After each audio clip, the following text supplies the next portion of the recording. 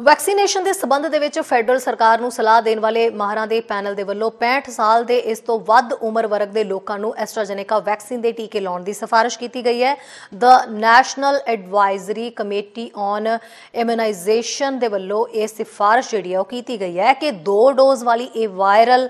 Vector ਜਿਹੜੀ vaccine ਹੈ seniors ਨੂੰ ਦਿੱਤੀ ਜਾ ਸਕਦੀ ਹੈ ਤੇ ਦਿੱਤੀ ਜਾਣੀ ਚਾਹੀਦੀ ਹੈ। ਦੱਸਦੇ ਕਿ ਪਿਛਲੇ ਮਹੀਨੇ ਹੀ ਕੈਨੇਡਾ ਦੇ ਵਿੱਚ ਵਰਤੋਂ ਲਈ ਮਨਜ਼ੂਰ ਕੀਤੀ ਗਈ ਐਸਟਰਾਜੇਨੇਕਾ ਜਿਹੜੀ ਹੈ ਉਹ ਕਾਫੀ ਵਿਵਾਦਾਂ ਦੇ ਵਿੱਚ ਘਿਰੀ ਰਹੀ, ਪਰ ਹੁਣ ਇਸ ਜਿਹੜੀ ਹੈ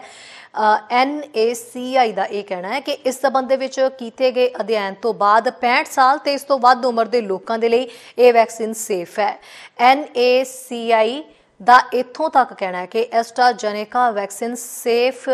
ਹੀ ਨਹੀਂ, ਸਗੋਂ ਪ੍ਰਭਾਵਸ਼ਾਲੀ ਵੀ ਹੈ। ਖਾਸ ਤੌਰ ਤੇ 80 ਸਾਲ ਦੇ ਬਜ਼ੁਰਗਾਂ ਤੇ ਉਹਨਾਂ ਬਜ਼ੁਰਗਾਂ ਨੂੰ ਜਿਨ੍ਹਾਂ ਨੂੰ ਚਿਰਾਂ ਤੋਂ ਚੱਲੀਆਂ ਆ ਰਹੀਆਂ ਬਿਮਾਰੀਆਂ ਨੇ, ਇਹ ਕਾਫੀ ਉਹਨਾਂ ਤੇ ਅਸਰ ਦਿਖਾ ਸਕਦੀ ਹੈ। ਇੱਥੇ ਇਹ ਵੀ ਦੱਸਣਾ ਬਣਦਾ ਹੈ ਕਿ ਇਸ ਮਹੀਨੇ ਦੇ ਸ਼ੁਰੂ ਦੇ ਵਿੱਚ NACI ਨੇ ਐਸਟਰਾਜੇਨੇਕਾ ਵੈਕਸੀਨ ਦੀ ਵਰਤੋਂ 65 ਸਾਲ ਤੇ ਇਸ ਤੋਂ ਵੱਧ ਉਮਰ ਦੇ ਲੋਕਾਂ ਦੇ ਵਿੱਚ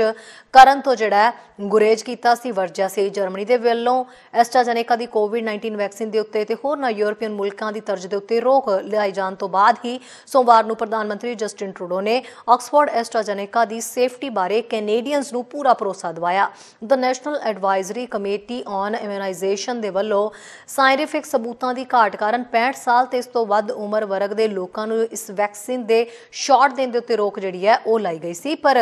ਹਕੀਕਤ ਦੇ ਵਿੱਚ ਦੁਨੀਆ ਦੇ ਹੋਰਨਾਂ ਹਿੱਸਿਆਂ ਦੇ ਵਿੱਚ ਆਕਸਫੋਰਡ ਐਸਟਰਾਜੇਨੇਕਾ ਦੇ ਸ਼ਾਟ ਲਵਾ ਚੁੱਕੇ 65 ਸਾਲ ਤੋਂ ਵੱਧ ਉਮਰ ਦੇ ਲੋਕਾਂ ਦੇ ਸੰਬੰਧੀ ਹਾਸਲ ਹੋ ਰਹੇ ਸਕਾਰਾਤਮਕ ਡਾਟਾ ਤੋਂ ਬਾਅਦ ਹੁਣ ਐਡਵਾਈਜ਼ਰੀ ਪੈਨਲ ਦੇ ਵੱਲੋਂ ਆਪਣੀਆਂ ਗਾਈਡਲਾਈਨਸ ਦੇ ਵਿੱਚ ਸੋਧ ਕੀਤੀ ਜਾਏਗੀ। ਲੇਜ਼ਰ ਦੀ